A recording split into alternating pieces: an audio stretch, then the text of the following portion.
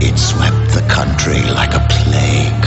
Thousands of helpless teenagers trapped in a dull, drab world of colorless video games. But there is hope. Color? Introducing Game Gear from Sega.